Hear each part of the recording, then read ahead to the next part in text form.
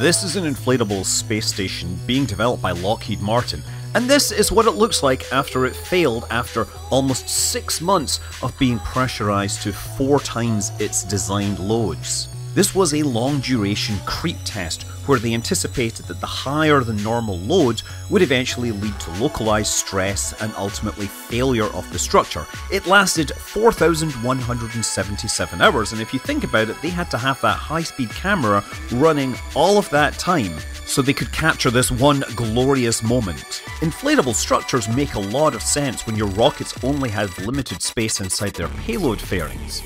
But equally, there are a lot of skeptics who see them as risky. Originally, this module was being developed to be part of the Starlab space station, but since then it's been replaced by a rigid module to be developed by Airbus.